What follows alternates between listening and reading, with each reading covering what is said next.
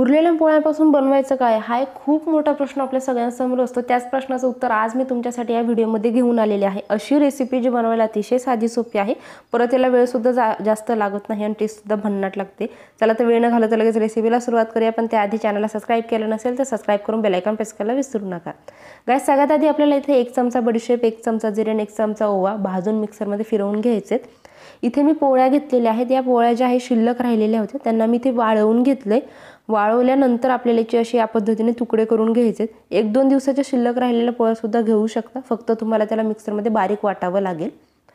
आता जे आपण जिरे बडीशोप आणि ओवा मिक्सरमध्ये फिरवलं होतं त्यामध्येच आपल्याला सात ते आठ हिरव्या मिरच्या टाकून घ्यायच्या आहेत. दहा ते बारा लसणाच्या पाकळ्या घेतल्या त्यांनासुद्धा व्यवस्थित असं मिक्सरमध्ये वाटून घ्यायचं आहे अशी पेस्ट झाली पाहिजे. पोळ्यांचे तुकडे करून ठेवले होते ते मिक्सरच्या भांड्यामध्ये टाकूयात आणि एकदम याला आपल्याला पावडर होईपर्यंत मिक्सरमध्ये फिरवून घ्यायचं आहे. जर तुमच्या एक ते दोन दिवसाच्या पोळ्या तुम्ही वापरत असाल वाळलेल्या नसतील तर व्यवस्थित त्याला मिक्सरमध्ये फिरवून घ्या. अशा पद्धतीने पावडरच त्याची झाली पाहिजे.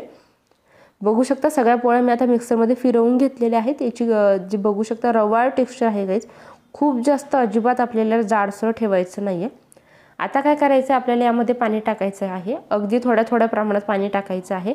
ही जी पोळी आहे गाईज आपली अशी ओलसर झाली पाहिजे. इतपत आपल्याला यामध्ये पाण्याचा वापर करायचा आहे. इथे जवळपास मला दोन वाट्या साधारण पाणी लागलेलं आहे यासाठी. बघू शकता या पद्धतीने आपली ही जी पोळी आहे ती असली पाहिजे. पोळी असल्यामुळे जसं आपण पाणी टाकतो तसं पोळी जी आहे ते पाणी ॲब्झॉर्ब करते. आता यामध्ये हळद टाकून घ्यायची आहे. चवीनुसार यामध्ये मीठ टाकून घेऊया.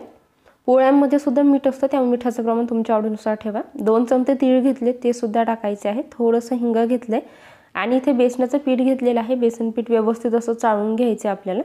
आणि आवश्यकतेनुसार आपण यामध्ये बेसनाचा पिठाचा वापर करणार आहोत.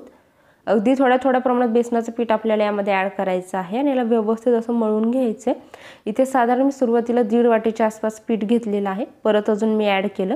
थोडंसं पाणीसुद्धा मी यामध्ये वापरणार आहे. अगदी थोडंसं साधारण दोन चमचे. बस आणि व्यवस्थित असं याचा आपल्याला डो बनवून घ्यायचा आहे. खूप जास्त घट्ट खूप जास्त पातळ करायचं नाही.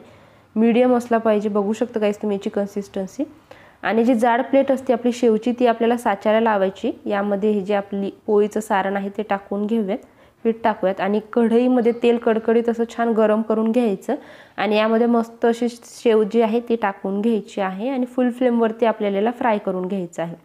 कढईमध्ये ज्यावेळेस आपण शेव टाकतो गाईस त्यावेळेस तिला लगेच पलटायचं नाही थोडंसं सेट होऊ द्यायचं. आणि फुल फ्लेमवरती छान असा गोल्डन ब्राऊन कलर येईपर्यंत आपण याला फ्राय करून घेणार आहोत बघू शकता. दिसायला तितकी भन्नाट दिसते गाईस टेस्ट तिची तितकीच अप्रतिम अशी लागते. तुम्हाला मी याला इथे मोडूनसुद्धा दाखवणार कितीही क्रिस्पी झालेली आहे.